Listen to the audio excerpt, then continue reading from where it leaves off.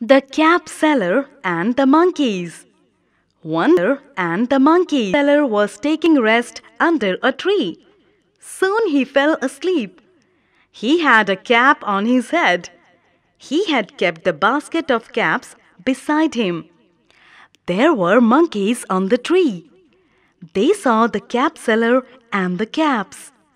They came down. They took out the caps and put them on their heads. When the cap seller woke up, he found that caps were missing. When he looked up, he saw the monkeys had caps on their heads. The cap seller had an idea. He knew that monkeys copied others. He took off his cap and threw it on the ground. All the monkeys took off the caps and threw them on the ground.